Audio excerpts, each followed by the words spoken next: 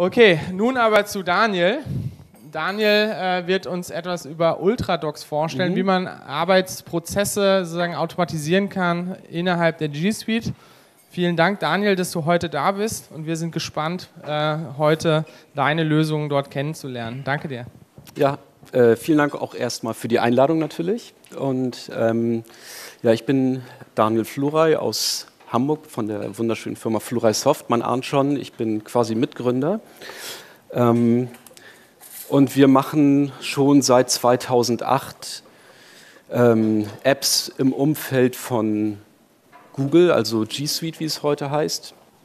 Ähm, haben angefangen mit einer Lösung, wo man seine Kontakte, die man so in Gmail hat, mit seinen Arbeitskollegen teilen kann, weil das eine Funktion ist, die halt bis heute immer noch nicht in G Suite standardmäßig dabei ist was äh, mich wundert, weil ich damals gedacht hätte, das bauen die bestimmt nächsten Monat selber, aber bis heute äh, profitieren wir ein bisschen davon. Dann haben wir eben einen ähm, Website-Editor für Google Drive, den wir bereitstellen, kostenlos. Da haben wir auch relativ viele Nutzer, so zwei Millionen ungefähr was äh, schon erstaunlich ist dafür, dass man einfach keine Werbung macht. Also es hat sich schon in den vergangenen Zeiten relativ geändert. Also für alle Leute, die sozusagen als Beruf, äh, Berufswunsch sowas wie nichts mit Menschen zu tun haben, ist das ganz praktisch, dass man halt einfach seine Anwendungen auf so ein Marketplace stellen kann und dann eben ohne jegliches Marketing eigentlich zu relativ vielen Nutzern kommen kann. Also es ist immer ein bisschen Glückssache. Wir haben auch ein Produkt äh, gehabt, wo wir sehr viel Arbeit reingesteckt haben. Das ist quasi nichts geworden. Das haben wir dann halt irgendwann wieder im Sande verlaufen lassen. Das äh, ist, naja, äh, manchmal im Vorwege schwer zu ahnen.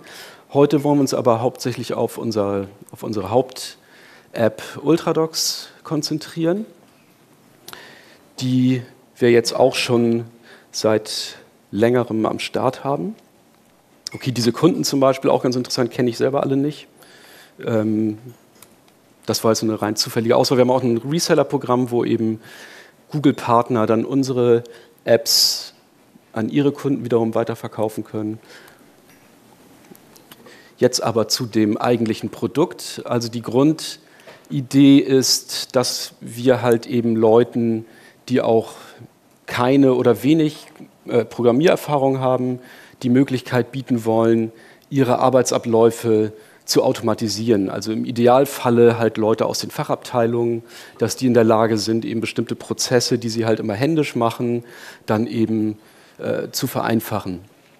Dazu ähm, haben wir verschiedene Bausteine in einem Produkt zusammengefasst. Einmal eine sogenannte Workflow Engine, das heißt, da wird der Ablauf von meiner Automation festgelegt.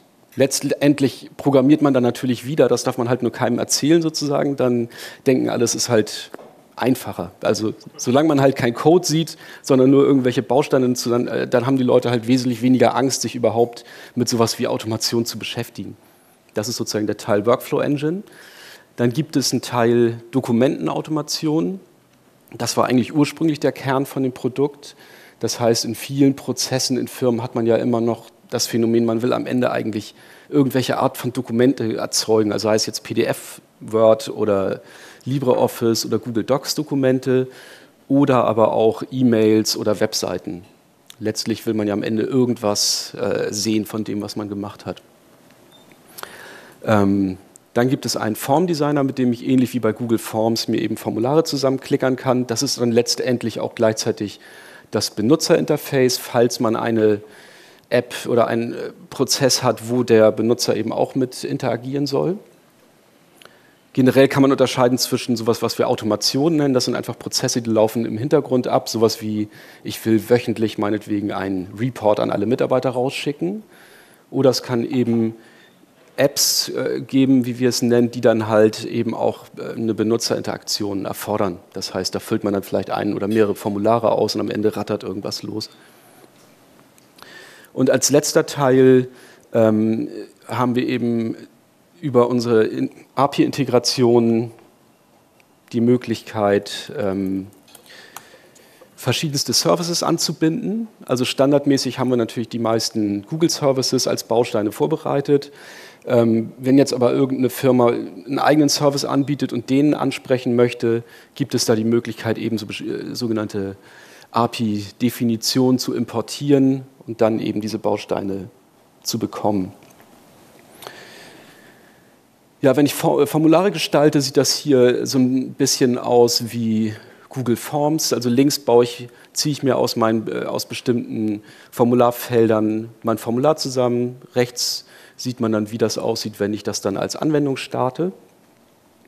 Im Gegensatz zu Google Forms haben wir halt auch noch einige zusätzliche Formularfelder, zum Beispiel sowas wie Unterschriftsfeld, was praktisch ist, wenn man sowas wie Verträge äh, erzeugen will äh, mit Signatur. Es gibt auch sowas wie äh, Mehrfachfelder, dass man halt sagt, ich möchte jetzt eine Liste von XY eingeben. Das geht bei Google Forms alles nicht. Zweiter Punkt ist eben dieses Dokumentenautomationsteil. Da habe ich äh, die Möglichkeit, entweder mit Google Docs, was am einfachsten ist, oder mit LibreOffice oder Word, wenn ich halt kompliziertere Dokumente brauche, äh, Vorlagen zu erstellen.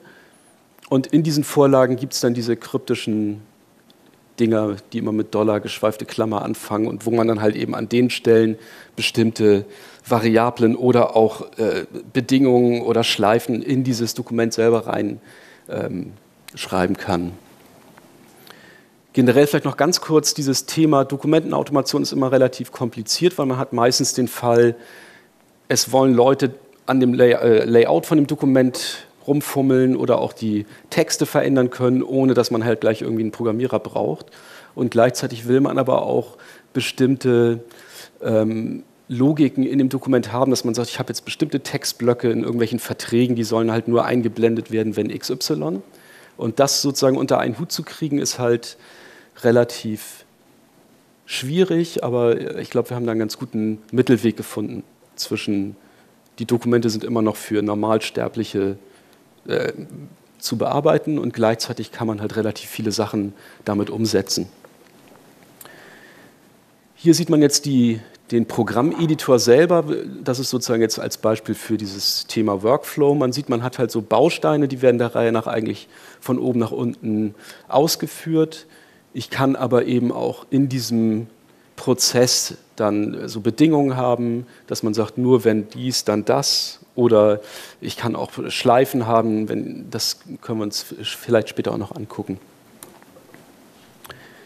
Dieses Thema API-Integration, hier sieht man äh, zum Beispiel sämtliche Google APIs, die es so gibt, äh, haben wir als optionale Blöcke eben auch zur Verfügung, weil die eben auch so eine API-Beschreibung für alle ihre Dienste zur Verfügung äh, stellen. Damit generiert Google dann auch die, ihre eigenen Client-SDKs, was weiß ich, wenn ich jetzt JavaScript-Entwickler bin oder Java-Entwickler, dann kann man halt, äh, gibt es ja für alles so eine Bibliothek und die gleichen Daten dieser Schnittstellenbeschreibung nutzen wir, um selber auch das einzubinden. Okay, noch ganz kurzer Vergleich. Wir haben ja eben gesehen AppScript, wo man halt wirklich dann so einen Code-Editor hat. Da muss man dann halt angstfrei seinen JavaScript-Code reintippern. Dann gibt es von Google sowas wie AppMaker, wo die halt äh, das bewerben mit Low-Code. Das heißt, man hat äh, auch die Möglichkeit, sich Oberflächen zusammenzuklickern, kommt aber eigentlich nicht zum Ziel, ohne dass man irgendwie auch weiß, was man tut und seine Codeschnipsel da rein tippt. Und mit Ultradox hat man eben die Möglichkeit, so einen gewissen Punkt auch ohne Coding zu erreichen.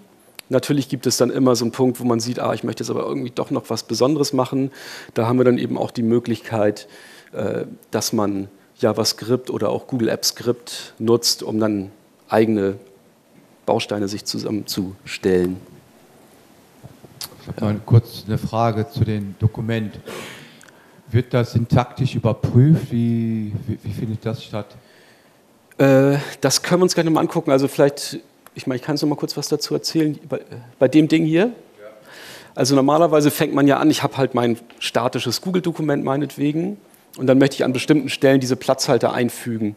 Und wenn man jetzt Ultradox installiert vom Google Apps Marketplace, dann werden automatisch bestimmte Add-ons auch für Google Docs dazu installiert. Das heißt, ich kann dann eben ich sehe dann auf der rechten Seite, welche Felder habe ich überhaupt und wenn ich die einfüge, bekomme ich eben eine Auswahl aller äh, Formatierungsmöglichkeiten. Achso, wenn ich das rüberziehe, dann wird die Syntax da generiert. Ja, ah, genau. Okay. Das können wir uns auch noch angucken, aber äh, wir müssen einfach mal sehen, was wir jetzt in der Zeit machen wollen. Ich dachte, ich gehe jetzt einfach mal direkt hier, wenn man es sieht, äh, hier hin.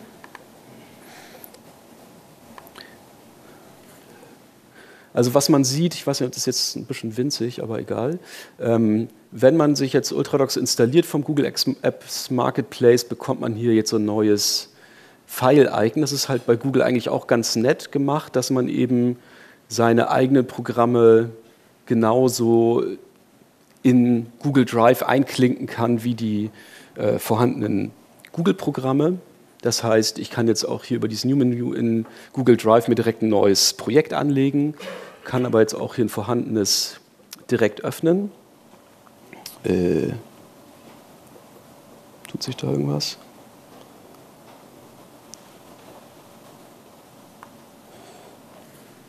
Okay, ist jetzt halt ein bisschen winzig, ne? aber ich äh, versuche trotzdem mal hier jetzt äh, zu erklären, was passiert. Also ich habe jetzt ähm, so ein relativ einfaches Beispiel, äh, woran ich mal so die verschiedenen Bausteine jetzt äh, zeigen will. Das heißt, der erste Baustein den, Baustein, den wir hier sehen, ist jetzt ein Formular. Da sehen wir jetzt schon im Prinzip diesen Formulareditor, von dem ich gesprochen habe. Hier gibt es verschiedenste äh, Feldtypen, die ich dann nehmen kann und in mein Formular reinziehen kann. Ich kann ähm, auf so ein bestehendes Feld klicken, dann sehe ich, wie das Feld äh, konfiguriert ist. Das sieht ein bisschen komplizierter aus als bei Google Forms, wo man ja einfach quasi in der Sicht editiert, in der das auch am Ende der Benutzer sieht. Aber es hat bestimmte Vorteile. Also zum Beispiel sieht man hier, ich habe jetzt bei meiner Auswahlbox diese drei äh, Auswahlmöglichkeiten mit Komma getrennt eingetragen. Das ist natürlich unkomfortabler, als wenn ich das einfach immer eintippe und Return drücke, wie bei Google Forms. Aber ich habe die Möglichkeit, eben diese Liste an Auswahlmöglichkeiten ähm, auch aus irgendwelchen bestehenden Daten zu generieren. Das heißt, die gleiche Syntax, die ich in meinen Dokumenten verwende, um dann halt sowas wie Schleifen oder äh, Bedingungen zu machen, kann ich auch in jedem dieser Felder in Ultrax machen, die halt so blau hinterlegt sind. Das heißt, ich könnte zum Beispiel vorher aus dem Spreadsheet eine Liste von Werten laden und dann ein Formular bauen, wo ich dann eben die geladenen Werte als in einer Dropdown-Box habe. Genau, wenn ich jetzt dieses Formular, wenn jetzt Ultradox dieses Programm hier ausführt, dann würde halt am Anfang dieses Formular angezeigt werden. Und auf der rechten Seite von jedem Baustein sieht man immer, was dann da rauskommt. Da kommen nämlich jetzt dann diese Variablen raus, die in dem Formular befüllt worden sind. Wenn ich jetzt als nächstes ähm, dann zum Beispiel ein PDF-Dokument generieren will, kann ich diesen Baustein aus der Seitenleiste, wo ich eben alle verfügbaren Bausteine finde, in meinen Prozess reinziehen und sagen, an dieser Stelle möchte ich jetzt eben ein neues PDF-Dokument generieren und zwar aus einer Vorlage, die suche ich jetzt hier mal raus, damit ich nicht von Null anfangen muss. Also da könnte ich jetzt auch ein leeres äh, Dokument erzeugen, aber jetzt um Zeit zu sparen, gehe ich einfach mal in eins, was ich vorbereitet habe. Das habe ich jetzt alles, äh, ehrlich gesagt, geklaut von einer Präsentation, die ich schon mal gemacht habe, aber äh, so ist das Leben, ist auf Englisch leider. Ähm, hier sieht man, wenn man das überhaupt sehen kann, ähm, ein Google-Dokument, wo hier oben eben Given Name steht. Statt Hallo Daniel würde dann halt eben dort an der Stelle jeweils der Name von dem stehen, äh, was man in das Dokument, in das Formular eingetragen hat. Hier vielleicht ein bisschen interessanter sieht man if role gleich Developer, dann zeigt er jetzt halt diesen Block an, bis zu dem dazugehörigen Ende.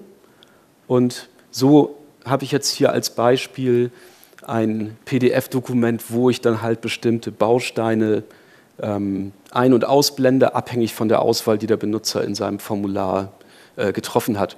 das ist eigentlich immer praktisch, gerade wenn es halt um sowas geht wie Verträge, äh, was weiß ich, also so alle Sachen, wo man Textbausteine zusammenstellen möchte anhand von Kriterien. Ähm,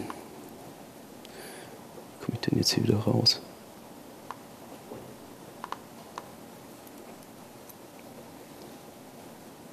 Nee.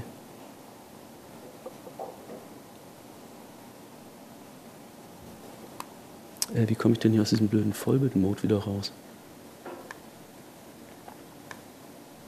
Hä? Äh, kennt sich jemand mit Mac aus? Was wollen Sie machen? Ich wollte nur diesen Vollbild-Mode hier wieder beenden. Oder ist es, oder ist es R hier? Ah, okay. Ähm, genau. Dann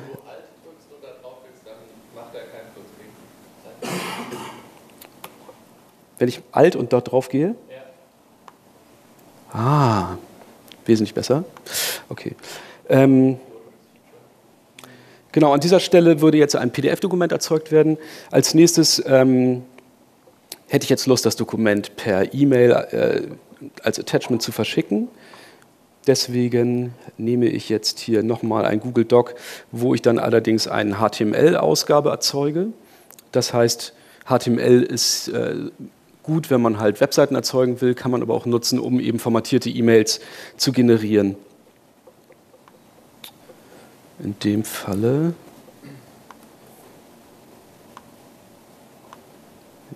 nehme ich auch wieder ein vorbereitetes Template.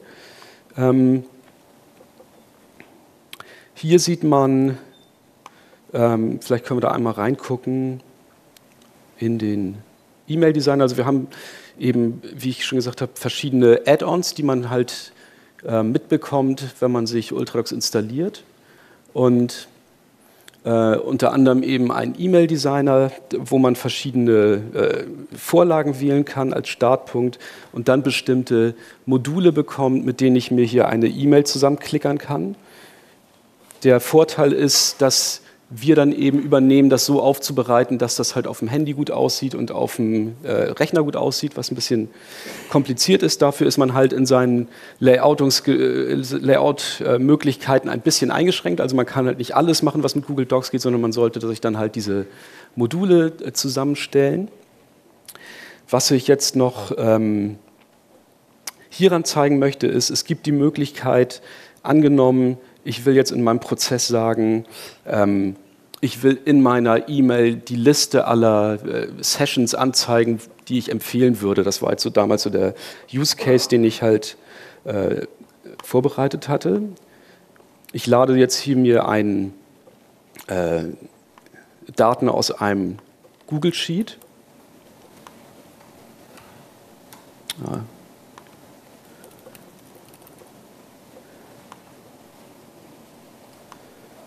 Das habe ich hier auch mal offen. Das heißt, ich, Google Sheet haben wir vorhin schon gesehen. Es gibt jetzt hier sozusagen ein ähm, Arbeitsblatt, das nennt sich Sessions. Hier sind verschiedene Spalten in diesem ähm, Google Sheet. Und ich möchte jetzt aus diesen äh, Zeilen in meiner E-Mail eine Liste eben dieser Sessions für, die, für denjenigen generieren, der dieses Formular ausfüllt. Dazu lade ich jetzt eben diesen ähm, Google Sheets Block rein. Sobald das äh, dann ausgeführt wird, habe ich halt diese Daten äh, zur Verfügung. Hier sieht man, das ist jetzt eine Liste von Werten. Also jede Zeile enthält dann halt eben entsprechende Felder, äh, die so ähnlich heißen wie die Spaltennamen. Ich bin das hier einmal um.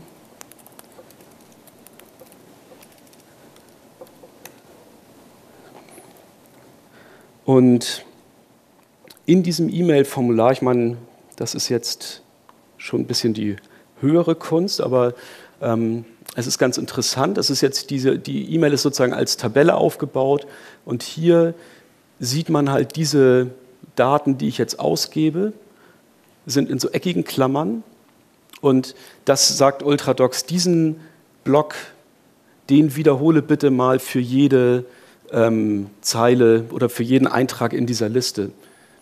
Normalerweise, wenn ich mir jetzt überlegen würde, wie mache ich denn sowas, dass ich eigentlich so eine Tabelle baue, wo die Spalten für, für eine Anzahl von Zeilen wiederholt werden soll, dann ist das halt rein von der Syntax ja gar nicht so leicht zu machen, weil wenn man üblicherweise solche For-Each-Schleifen machen würde, würde man das dann um die ganze Tabelle machen, die würde dann insgesamt immer wiederholt werden, aber um das sozusagen auf Zeilenebene auch für den Benutzer am Ende relativ einfach machbar zu halten, haben wir eben so eine Spezialsyntax, die nennt sich, ich schreibe das in eckigen Klammern und dann macht Ultradox automatisch für äh, jeden Eintrag dieser Liste, nimmt er das dann so als Blaupause und erzeugt dann eine einzelne Zeile pro Eintrag.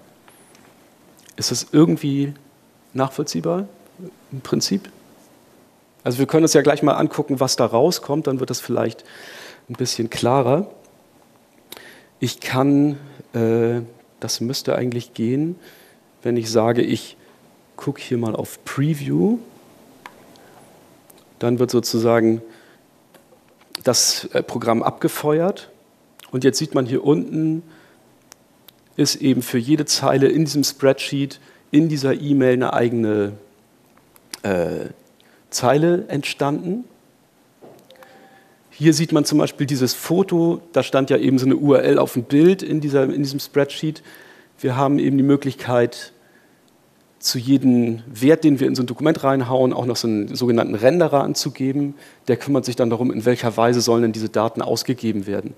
Also gerade wenn ich sowas habe wie Währungen, Datumsgeschichten, dann ist es immer besonders tricky. Auch gerade wenn man jetzt so international Kunden hat, dann will man halt die Währung dem einen halt in Euro, dem nächsten in US-Dollar oder das Datum ist in jedem Land unterschiedlich und so weiter. Das wird über diese Renderer äh, gelöst. Das heißt, wenn ich jetzt hier mal zum Beispiel auf diesen Variablen-Teil gehe, das ist das, was ich äh, vorhin meinte. Hier sehe ich jetzt sämtliche Variablen, die ich eigentlich bisher in meinem Prozess zur Verfügung habe und dann sage, ich möchte jetzt hier die E-Mail einfügen, dann gibt es hier die Möglichkeit eben die Formatierung äh, für dieses Feld auszuwählen.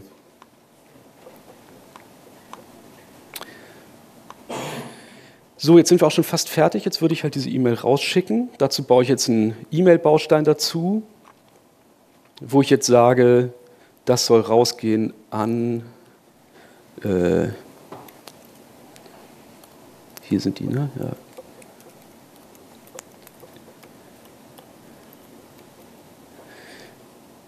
Ich könnte jetzt hier eine feste Adresse schreiben, kann aber auch eben an jeder Stelle, wo diese blauen Felder sind, eine Variable angeben. Das heißt, ich, diese E-Mail würde jetzt rausgeschickt werden an den entsprechenden, ähm, an den entsprechenden äh, Menschen, der das Formular ausfüllt. So. So. Hier das Attachment kommt auch noch dran. Das nenne ich jetzt auch nochmal um.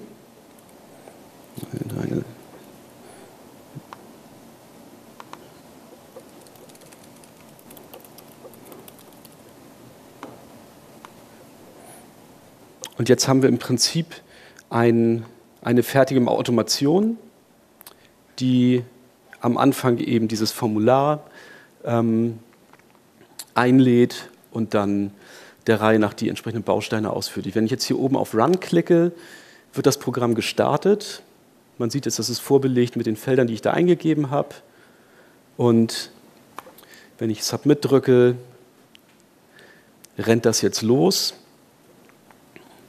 Und am Ende ist jetzt eben diese E-Mail mit dem Dokument an meinen anderen Account geschickt worden. Mal gucken.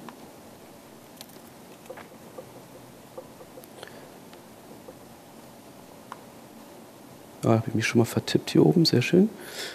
Okay, also man sieht hier, ne, das äh, ist angekommen und das entsprechende PDF-Dokument mit dem äh, passenden Abschnitt ist jetzt an mich gegangen. Ähm, ich kann das Ganze jetzt als App veröffentlichen. Das können wir mal hier gucken. Cloud-Frühstück müsste gehen. Und falls jemand Lust hat, äh, kann er das natürlich jetzt direkt einfach mal aufrufen. Das heißt, ne, https www.ultradox.com und dann slash app slash cf. Und dann würde eben diese Anwendung dann nicht mehr in diesem Editor gestartet werden, sondern von dieser URL, wobei ich dann halt, das kann ich ja mal rausmachen. Im Moment ist es gesichert, dass, man's halt, dass man halt einen Google-Account braucht, äh, um sich einzuloggen. Das mache ich mal weg. Dann müsste das eigentlich öffentlich sein.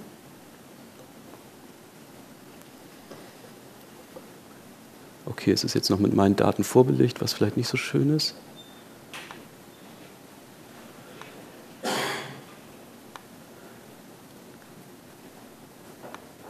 Genau. Und was halt ganz nett ist, wenn jetzt irgendjemand dieses Ding aufruft, dann sehe ich halt sämtliche Sachen hier auch. Okay, da hat jemand irgendwas gemacht. Und das heißt, obwohl jetzt dieser Editor hier im Browser läuft, sehe ich halt immer, was sozusagen live passiert. Ich habe hier auch die Möglichkeit, jetzt irgendwelche Breakpoints zu setzen, um dann mir anzugucken, wie sind denn eigentlich meine Daten aktuell und äh, was passiert da.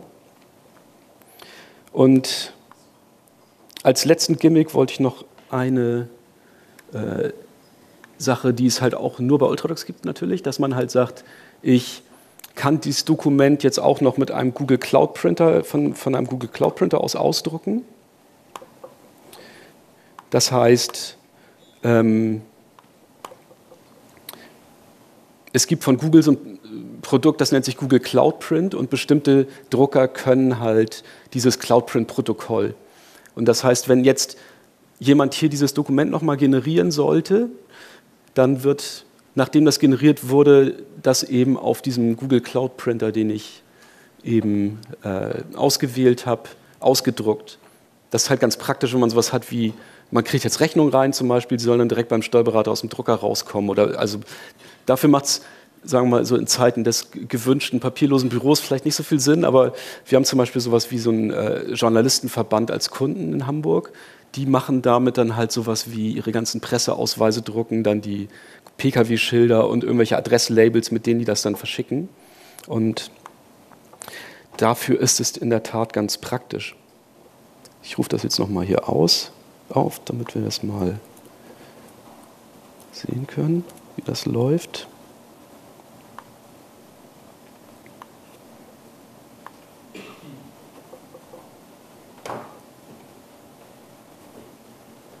Genau, hier rattert das jetzt durch. Und ich kann einmal gucken, wie sieht das dort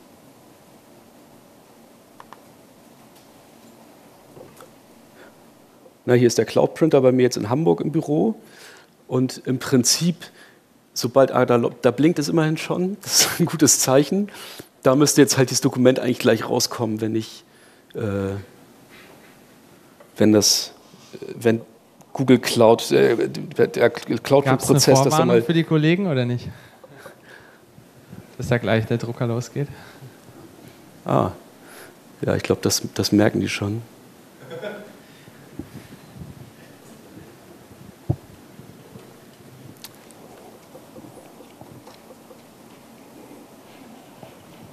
Ja, das, äh, Während wir auf den Drucker warten, vielleicht schon mal die Frage auch in die Runde. Wenn ihr gleich Fragen habt, dann könnt ihr euch da ja schon mal Genau, also ich meine, das war jetzt mal so ein ganz grober Einblick, dass man, es gibt halt sozusagen natürlich sehr viele Ecken, die man genau beleuchten könnte, aber so, ich denke, vielleicht als grober Überblick ist das schon mal ganz äh, interessant so gewesen. Ja, vielleicht Fragen schon mal soweit? Ja, eine Frage, mit welcher Entwicklungsumgebung wurde Ultradox gebaut? Oder mit welcher Sprache ist das, dieses Skript?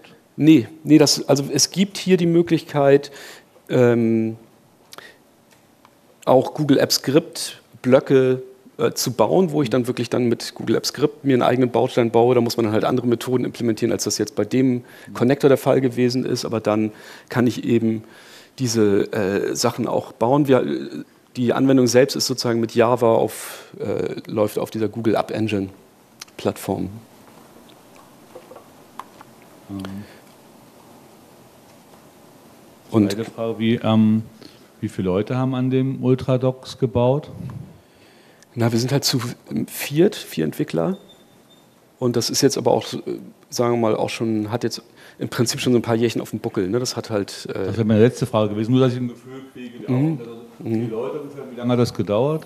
Na, wir haben angefangen 2012, da gab es halt so einen Google-Wettbewerb, den die halt ausgeschrieben haben so und dann haben wir da auch immer den ersten Preis gewonnen, was ganz gut war, als kleine Anschubfinanzierung sozusagen für die Produktentwicklung. Und ähm, daraus ist das dann sozusagen, da, damals war es aber wirklich nur der Teil dieser Dokumentengenerierung, und das, der ganze Kram drumherum hat sich eigentlich daraus ergeben, dass wir gemerkt haben, wenn ich meine Dokumente generiere, dann will ich aber auch eigentlich irgendwo Daten herkriegen, um die da reinzutun. Und so ist es halt, hat sich das dann halt so ein bisschen äh, weiterentwickelt. Und mittlerweile haben wir jetzt eigentlich so einen ganz guten Stand, wo ich denke, das ist so eine relativ runde, sinnvolle Geschichte, nicht nur jetzt für so Prozesse, die relativ einfach sind, die man als Fachabteilung machen kann, sondern zum Teil eben auch für Entwickler, weil ich kann mir jetzt hier eben so einen Gesamtprozess äh, zusammenbauen. Und den kann ich dann wiederum, da kann ich dann so Input- und Output-Parameter zum Beispiel definieren und später kann ich das Ganze dann als REST-Service aus meiner eigenen Umgebung aufrufen. Also das ist gerade was sowas wie Dokumenten generieren angeht, ist halt eigentlich immer so ein Thema, da will man sich jetzt nicht so wahnsinnig gerne mit beschäftigen, wenn das dann auch noch so Templates sein sollen, die man bearbeiten kann. Und dann ist das eben auch so, dass viele das einfach nutzen als ein äh, Tool, um bestimmte Services selber sich zusammenzuklickern und die dann aber auch als REST-Service aus der eigenen Anwendung aufzurufen. Also im Prinzip, das, was ich hier jetzt sehe unter API, da kann ich diesen ganzen Prozess auch einfach über eine, ähnlich wie man es bei Google kennt, über so eine gesicherte URL ähm, aufrufen und da dann meine Parameter reinschmeißen. Wenn man jetzt einen Curl-Command hat, kann man das einfach dann direkt aufrufen. Habt ihr auch noch eine To-Do-Liste? Äh, immer. eine stets gefüllte. Habt ihr spezielle Themen, die priorisiert sind?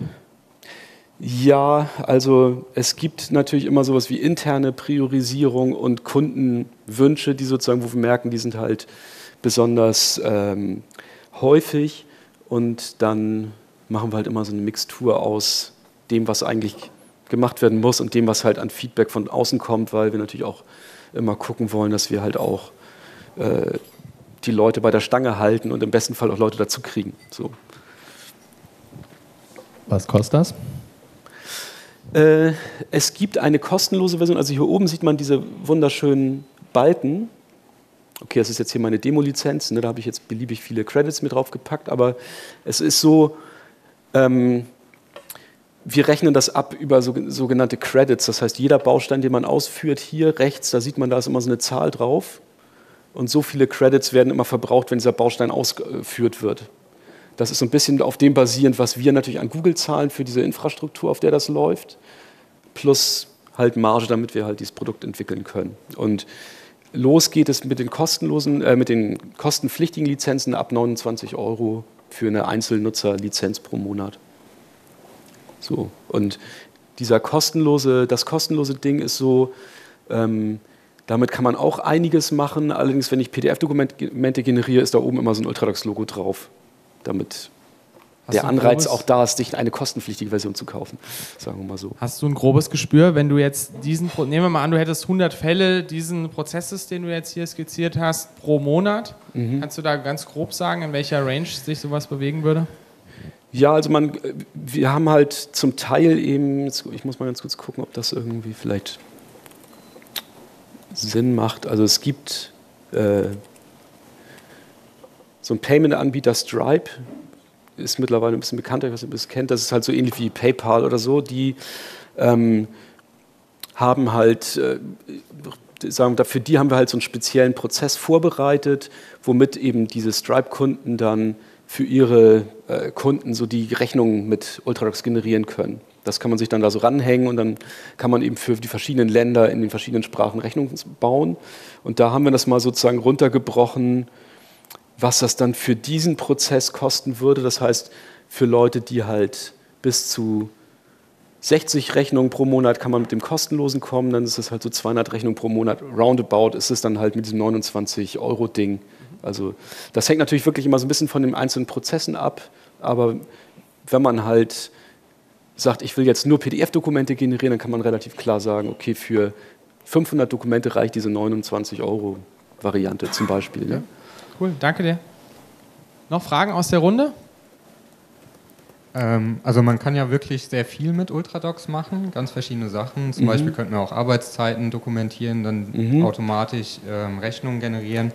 Wisst ihr denn, was so der häufigste Anwendungsfall von euren Kunden ist?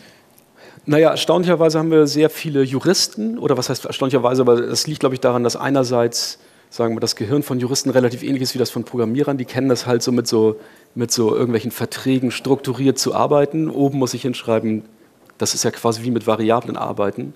Und deswegen ist dieser Fall, dass halt gerade so Anwaltskanzleien ihre Prozesse damit auto automatisieren, eigentlich, würde ich sagen, mit am häufigsten.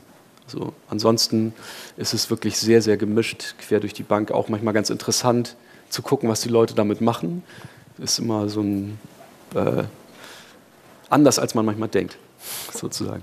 Ähm, wenn du gerade sagst, Anwaltskanzleien äh, sind viele eurer Kunden, gab es da auch schon mal irgendwelche Datenschutzbedenken oder so? Das ist ja immer ja, ich meine, man muss halt sagen, wir haben halt ungefähr 90 Prozent natürlich in den USA, weil halt Google da viel verbreiteter ist. Diese G Suite-Geschichten sind gerade bei so kleineren Firmen in den USA wahnsinnig verbreitet. In Deutschland ähm, ist das halt für uns eigentlich immer bis jetzt so ein, auch wenn es das Programm jetzt in, auf Deutsch gibt und so weiter und die Anleitung auch, ist es für uns bis jetzt eigentlich nicht so ein interessanter Markt gewesen. So, das ändert sich jetzt langsam und ähm, wir sind jetzt auch dabei, man kann das hier sehen, weil das leider bei Google nicht wirklich vorbereitet ist.